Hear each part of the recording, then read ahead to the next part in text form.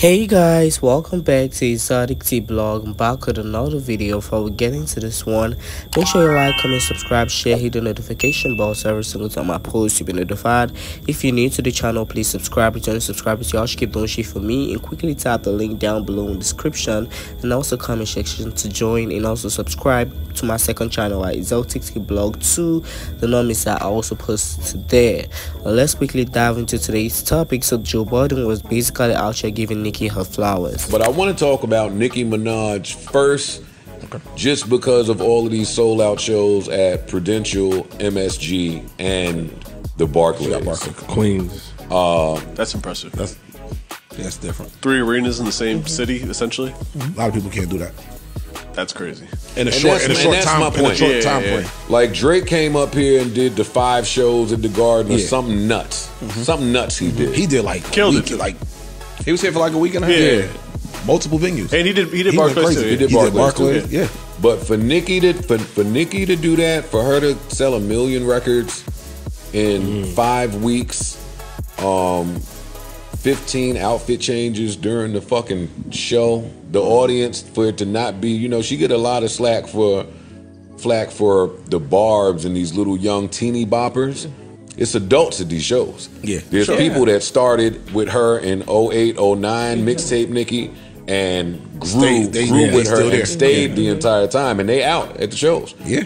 So, you know, it's just a testament to what she's done, what she continues to do. I don't know if this is a legacy act thing or just I don't know.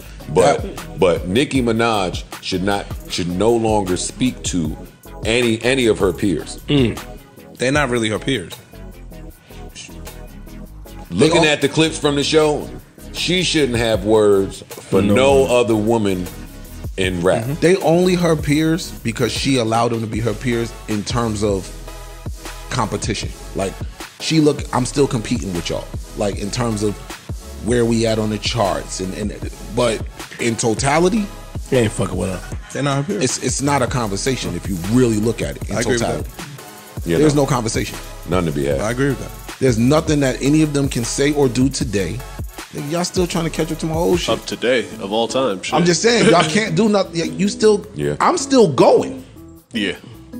See, the thing about a run, when you start comparing to somebody's run or something, that run got to stop. True. True.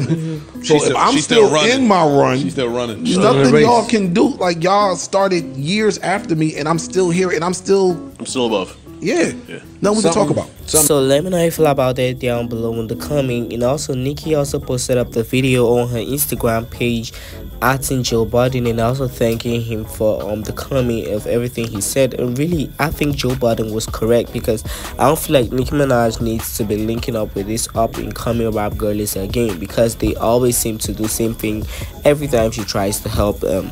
Linking up with the dots and also kicking and talking crap about her. But let me know how you feel about that down below in the comment. Moving on from there, Nicki also seemingly teased that she was going to be dropping the Fuck the Club Up remix with Sexyy Red. And Sexy was basically coming out here to respond to Nicki and asking for a music video. So let me know how you feel about this down below in the comment. Nicki also stated in another tweet saying that Sexyy Red is the only female on the song. She's gonna be putting out a remix with a male rapper. Fans have been coming out to speculate that Drake is going to be on the remix. So I want all my barbs on this channel to come the fuck out because we finna get ready to support Nicki Minaj and also push this record to the top. Y'all know how we do shit over here. We going to always support the queen of rap.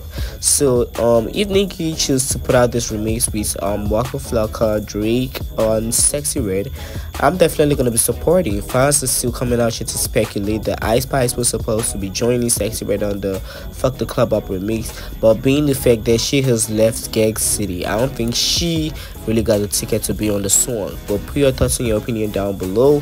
And moving over to the industrial plastic bag, aka the face changing alien Cardi B. Fans are coming out to speculate that she is being botched and beat again. She unfollowed Sexyy Red because I know she was following Sexyy Red. She unfollowed Sexyy Red right after Nicki DT's that she was going to be doing the um fuck the club up remix. And most of the fans they came out here to say oh cardi b was not following sexy red. Cardi b was not doing this. Cardi b was not doing that. I mean she literally unfollowed sexy red. And i'm like damn girl you you still coming out here to prove and also you're not basing the allegation of being botched and beater you was coming out here to be pained not only that it seems that she put out um a picture her fans are saying there is the artwork to her album let me know how you feel about this down below in the comment. Do y'all think this is the artwork to her album? Let me know how you feel about it down below. And y'all can tell me um in the comment section there um do y'all think that picture is a great one to be an art cover because she was looking a hot mess. No shade. That was literally another face though. And stop playing with me, cause y'all know that I'm not Mexican, and y'all do that shit for y'all do that shit to to thing to irritate me. And not only do y'all don't call me a Mexican, y'all call me a dirty Mexican.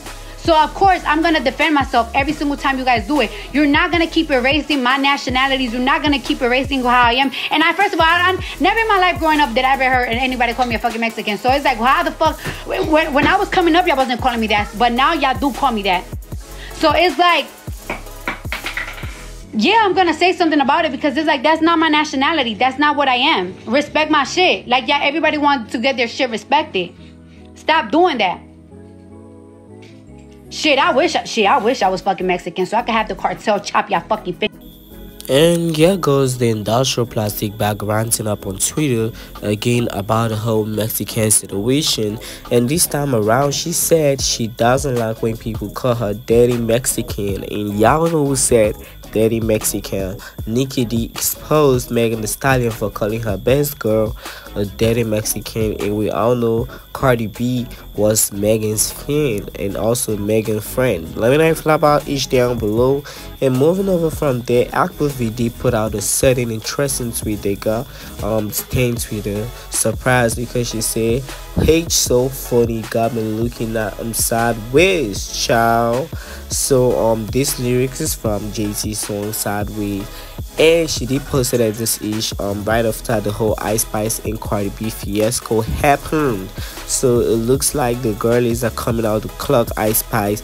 But anyways, let me know your thoughts and your opinion about these topics down below. Like, comment, subscribe, share, and I'll talk to you all in the next video. And as usual, thanks for watching.